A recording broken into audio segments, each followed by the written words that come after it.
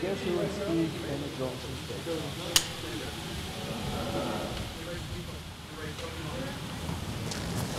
So, my name is Hannah, and I'm originally from the UK. I grew up in London, and I lived there for most of my life, but then I spent my 20s in Australia, and I moved to the Netherlands about, I guess, three years ago. Um, so, my artist, his name is Pa Salieu, and he is also from the UK. Um, but he originally grew up in Gambia for um, his childhood, and then he moved back to the UK, where he lived with his parents and grew up in Coventry. The genre that he's coming from, um, I guess, would really be UK hip hop. And it seems that there's a bit of a mix of some grime in there and a bit of Afro beat. So, really, some styles that I would really uh, think of like when I'm thinking of UK music in that sense. Some give in, some make it out. Some got the heart, some behold the spirit. Clout. Some do it for the money, the dollar, the pound. Some get it on their own, leech on their own. For the love of money, see niggas done on their own. They told me I can't do that, don't make sense. You switch too fast, it's either the grave or pen. They told me I can't do that, don't make sense. You switch too fast, it's either the grave or pen. It's not really a style of music that I grew up listening to a lot. I was really into a lot of more rock or jazz or things like that.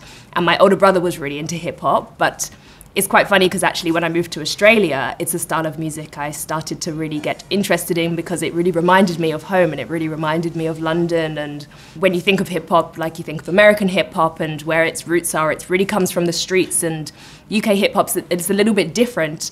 I mean, like I said, it's not a genre I listen to a lot of, but it's it wasn't just it wasn't so typical of what I would think of for this genre maybe. So it was maybe just a little bit different. I think throwing some things in there from other styles, like I said, some of the grime and the Afro beat, but also being quite clear with his lyrics as well. It really I think the lyrics maybe mean something. One of the songs I really liked was one called Energy, featuring Mahalia, which is a really nice female singer. And what I really liked about it is it's it's called Energy, and I think the main like title of the song, the main themes that come out of the song are a line called "Protect Your Energy," and it's actually quite a strong thing to say. But the way the music is, it's quite kind of calm and you know, it just takes you along. And I think it's a really nice song to finish a, an album with, or so, because it really makes you think. Why you keep wasting your energy? Never let them blow out the energy. They just want your jealousy. Protect your energy. Protect your energy.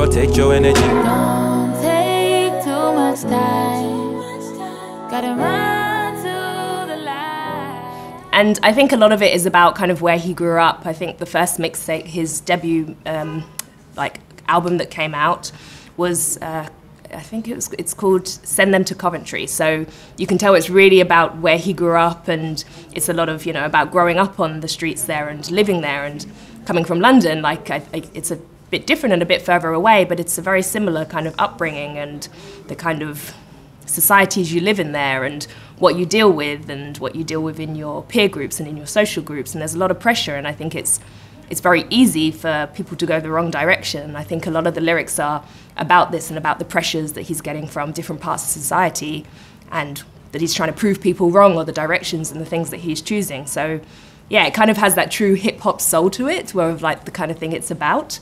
Uh, but yeah, it's, it's quite cool. I, I remembered halfway through to like incorporate the questions, so I hope they were there.